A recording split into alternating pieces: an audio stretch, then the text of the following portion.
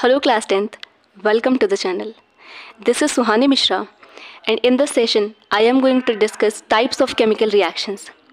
Last video में हमने देखा केमिकल इक्वेशंस चेंजेस और केमिकल रिएक्शंस को आज हम जो भी हमारी केमिकल रिएक्शंस हैं उनके टाइप्स को देखेंगे तो रिएक्शंस के टाइप में जो पहला टाइप है वो है combination reaction combination reaction is a reaction in which two reactants are going to combine with each other to form new product. I have mentioned the general formula of this reaction that is A plus B give rise to AB where A is a reactant and B is another reactant. When they are combining with each other they form AB. For example, I have taken the example of carbon dioxide, the formation of carbon dioxide. The reaction of carbon dioxide is what? Carbon plus oxygen give rise to CO2. Where the carbon is combining with oxygen to form CO2. Now, what is decomposition reaction? Decomposition means something that is going to break down. So, in this reaction, the reactants are going to break down into two or more products via heating, via light energy or by electric energy. In different different types of conditions, I have mentioned the reactions name. For example, let's first look on what is the general formula of decomposition reaction. There is AB that is reactant and it will be break down into two product separately A plus B. For example, I have taken example of calcium carbonate. Ca plus Ca CO3 give rise to CaO plus CO2. If you are decomposing the reactant via heating, it will be thermal decomposition. For example, the formation of CaO is also the uh, example of thermal decomposition because it is it is the reaction which is continuously going while the heating is provided to it. So it is the reaction in which heating is going to use. It will be thermal decomposition. Number second is electrolysis. You can also do the decomposition reaction via electric energy. So when you are utilizing electric energy, it will be electrolysis. The general formula for these reactions are always same. Number third is photo decomposing reaction where light is going to utilize. Now the reaction is displacement reaction. Displacement reaction is the reaction in which one reactant is displaced by another reactant to form new product.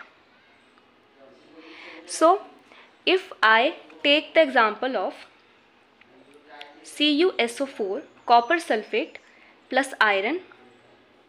So in this reaction iron will replace the replace I can say it will be it will be out the copper from the solution of copper sulfate because it is more reactive than copper.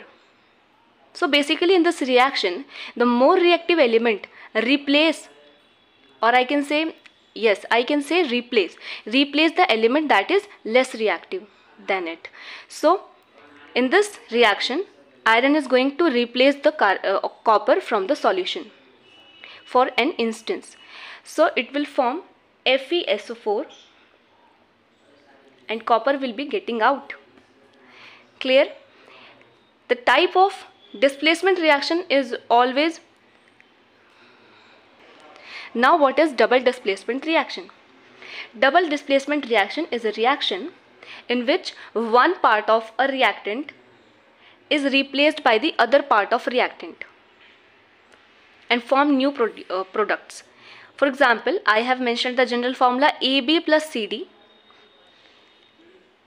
B is going to be replaced by the part of this reactant that is D. and form AD and and this D is replaced by B and form CB okay for example I can take example of AgNO3 plus NaCl give rise to AgCl plus NaNO3 okay? When silver nitrate reaction with reacts with NaCl sodium chloride it gives silver chloride and sodium nitrate. So it is the example of double displacement reaction now what is dissociation reaction dissociation is is a reaction in which one reactant will break down to form two or more products i have write the man I have write the general formula AB give rise to A plus B. It get dissociate into A and B. For example, I can take the example of hydrochloric acid that is going to dissociate into H plus and Cl minus ion. So while, while this dissociation reaction is going under the presence of ionic energy it will be ionic dissociation. And when under the presence of um, heat it will be thermal dissociation. Okay? Example will be remain same all in all these reaction. So now students को जो problem होता है समझने में कि dissociation and जो आपका decomposition reaction है वो एक ही है, क्योंकि वहाँ पर भी एक oxidation reaction oxidation reaction means there are some points there are some phenomena those occurs in this reaction I have mention the point addition of oxygen removal of hydrogen और loss of electrons let's have a look on the reaction copper plus oxygen combined with each other in the presence of heat to form copper oxide. So what is going in this reaction? Copper is getting uh, copper gets oxidized because oxygen is adding to it. So it is the example of oxidation reaction. You have to just remember the addition of oxygen is oxidation. Addition of oxygen is oxidation. And the last one is very important loss of electron. Why the loss? You will briefly study this point in higher classes now what is reduction reaction reduction reaction means addition of hydrogen in this reaction, copper oxide, copper oxide plus hydrogen in the presence of heat form copper and water. So what is going in this reaction? Hydrogen is added to the reactant, right? Removal of oxygen. Yes, copper oxide removes the oxygen from this compound, right? I mean copper is reduced. Copper reducing oxygen. So it is the removal of oxygen. The points you have to remember I have mentioned. Removal of oxygen. And the last one is gain of electrons.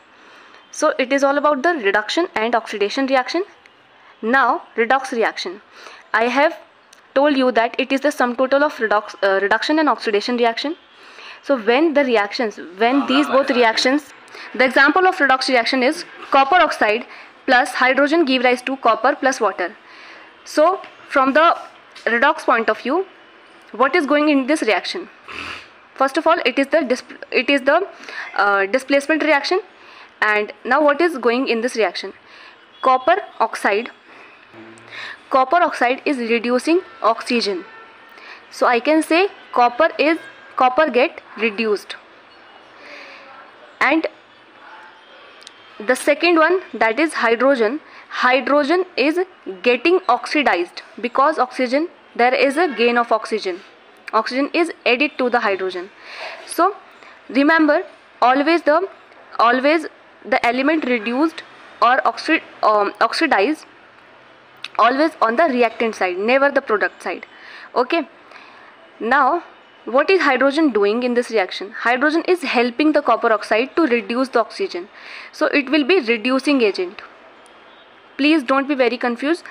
It is it will be reducing agent just because of it is helping this to reduce the oxygen.